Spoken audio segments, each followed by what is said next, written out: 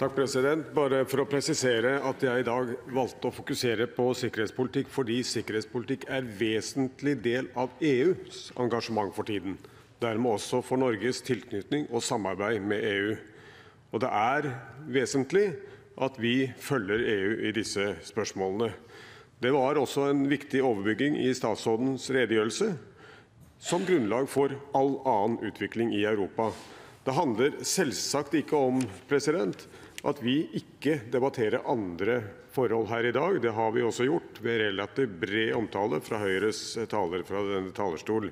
Pluss at statsråd Helgesen har svart godt på spørsmål og temaer som er tatt opp.